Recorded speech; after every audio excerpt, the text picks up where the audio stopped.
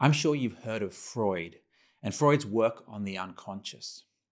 So, us neuroscientists like to talk about the unconscious, the unconscious information in the brain, with the metaphor of the iceberg, in that the little tip of the iceberg sitting up above the water relates to the amount of information in our brain we're actually conscious of. So, in other words, the bulk of that ice cube sitting under iceberg sitting under the water represents the unconscious information in our brain. So, in other words, most of what's going on in our brain is unconscious. We just don't have conscious awareness of it. And over the years, we've discovered a lot of things can happen in that unconscious activity.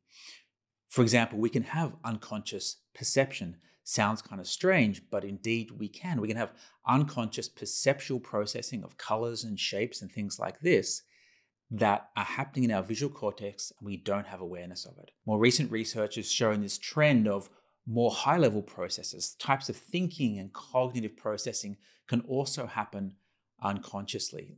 For example, perhaps you've had the, you know, the experience of uh, racking your brain to come up with a new idea, a solution for something. You get tired, you give up, you relax. Then later in the day, on the bus, your mind wandering, and bang, the idea just pops into your head. Or the next morning, you're in the shower, and bang, the idea seems to come from nowhere.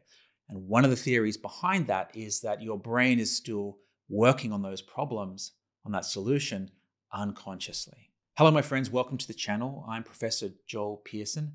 It's great to have you with us. So, today I'm talking about unconscious imagery.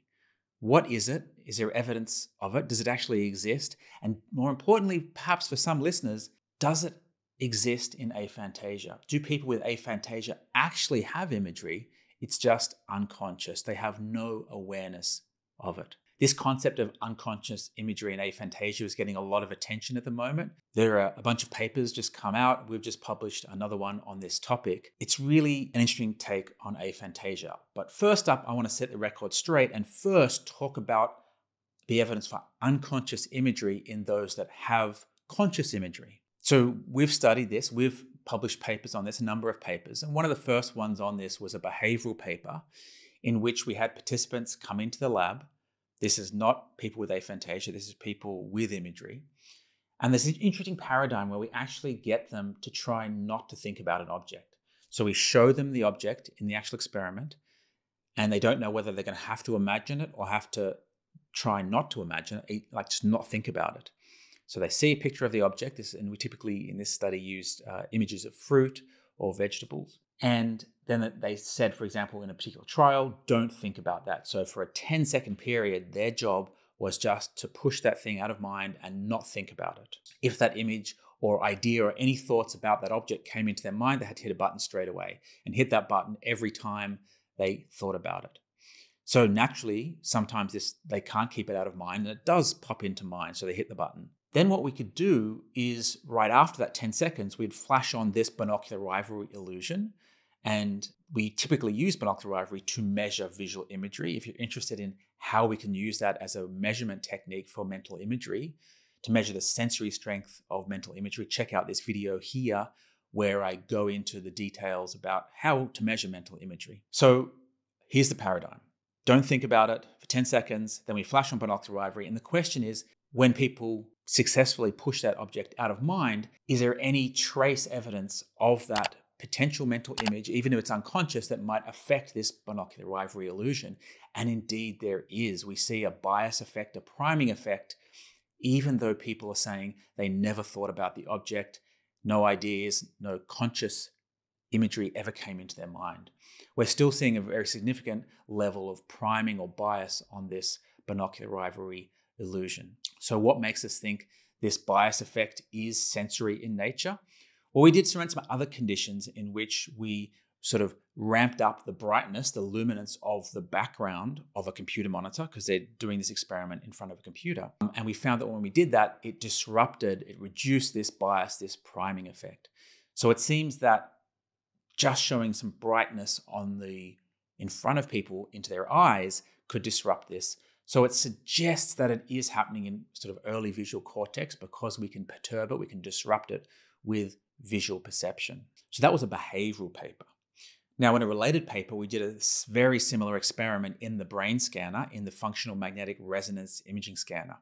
So again, we had people lying in the scanner, same kind of paradigm. Either we show them an object and they've got to think about it or try not to think about it. And in a very similar way, we're not using binocular rivalry here, we're using fMRI. We're, we're sort of trying to de- decode what the object was or what the imagery was when it's conscious or unconscious. So when they're saying they are imagining it, or when their suppression of that image fails and it pops into their head, or when they're successfully suppressing it. And just like with that binocular rivalry experiment, in the scanner, when people are reporting they successfully push that object out of mind, they never thought about it, had no thoughts about it, we could still decode that representation, if you like, in visual sensory parts of the brain, even though they had no conscious awareness of it. So, this is again another piece of information which suggests that there can be unconscious imagery in those that have conscious imagery, right? So if you have imagery, you can probably have a form of unconscious imagery. There's one other experiment I should mention. Um, again, a brain scanning experiment where we had people lying in the scanner and they had to choose whether to imagine a green pattern or a red pattern. And they could freely choose on each trial, and they hit a button when they made the choice, and then they had to imagine that pattern um, for a number of seconds. And using those same kind of algorithmic decoding, we could decode which pattern they were going to imagine up to sort of 10 or 11 seconds sometimes before they even reported making that choice. So it suggests there's some information in the brain already that is biasing their decision, or if you like, another way to think about that is that the decision and the representation of the image is already forming before people are conscious of that choice and before they're conscious of their mental image. So, this data is a little bit of a different approach, but it also helps support this idea that an unconscious imagery can start emerging and you won't be conscious of it. And then all of a sudden, bang, it does become conscious at some point. So, there's three, just three experiments that speak to the idea of unconscious imagery in those that have imagery.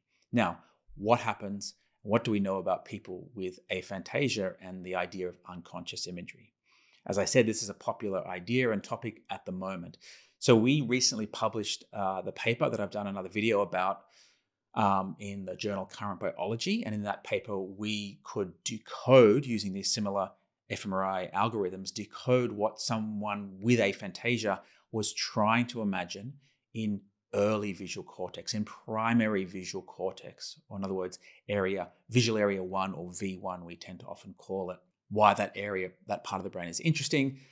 Those early cortex areas in the visual cortex process very low level sensory characteristics, perceptual characteristics of things, colors and shapes and angles, dots, these kinds of things. So to be able to decode a representation there suggests that it probably is sensory. Now, Importantly, in that same paper, as I've discussed before, we, tr- we train the algorithm on perceptual images, so the red and green images, when people just looking at them. We train the algorithm on those and then try and use the algorithm to decode imagery attempts for people with aphantasia. And that crossover, that generalization didn't work. So, what does that mean? It means that the representations, although they're reliable at each, each time someone's trying to imagine something, they're different somehow to the representations during perception. Now, some people have said that means they're non-sensory. I don't think that's that data suggests that. Um, all it suggests that it is different to perception. So it could be different in a number of ways. It could be more blurry. It could be a different color. It could be warped or distorted. It could be just in a different part of the brain. There's a whole range of ways it could be different, and it could still be perceptual or could still be sensory in nature. So it doesn't mean that the representations in primary visual cortex are non sensory and high level semantic information, although that could also be part of the explanation. All it means is that the representations in those with aphantasia are different to those during visual perception. So I don't think we know yet whether these representations uh, should best be characterized as unconscious imagery. It may turn out to be the case they are, but we need to run more experiments to figure that out. And it may well turn out that some people with aphantasia have unconscious imagery, while others don't. So, all the data we've collected so far really suggests that aphantasia is heterogeneous. In other words, it's there are different types of aphantasia, And not everyone with aphantasia has the same um, characteristics, the same profile. That's certainly the case when it comes to multisensory aphantasia, pure visual, pure auditory aphantasia, all these different types. It's the case when it comes to dreams and a case uh, across the board that th- people are quite different uh, with aphantasia. So it's really up to future research to try and figure out what these representations are during attempts at imagery for those with aphantasia. There are representations in the visual parts of the brain. The question is, what's in those representations and should they be best characterized as imagery or unconscious imagery?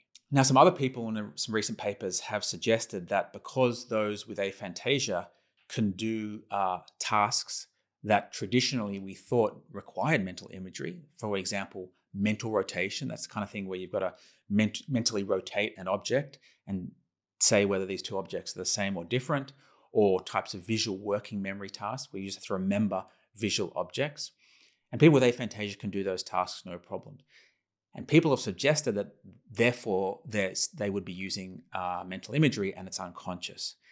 But I don't think that's the case, and here's why. When you ask people with aphantasia who are performing these tasks how they're doing them, what's their strategy for performing these tasks, they report very different strategies to those who have visual imagery.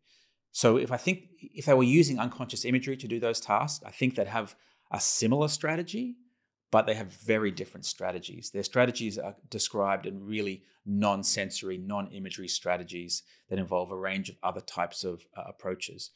So I don't think those those evidence, those those studies speak to unconscious imagery in aphantasia. So in sum, unconscious imagery seems to exist for those that have conscious imagery. When it comes to aphantasia, is there unconscious imagery? The real answer we don't know yet. There is some evidence from the brain scanning data we've done that suggests there might be, but we need further research, further experiments to really unpack that and tell us if those representations in early visual cortex are best classified as imagery or something else. So that's it, my friends. I hope this update about unconscious imagery was helpful. If you like hearing about the brain and the mind and mental imagery, aphantasia, Please subscribe. Uh, follow me on uh, Instagram or TikTok if you want to hear sort of short versions of these updates that I do more regularly. Um, also, uh, follow us on the newsletter, the lab newsletter. The link to that should be in the description. And until next time, stay curious, stay interested in your own mind and how it works. And the best of luck in everything you're doing this week. See you soon.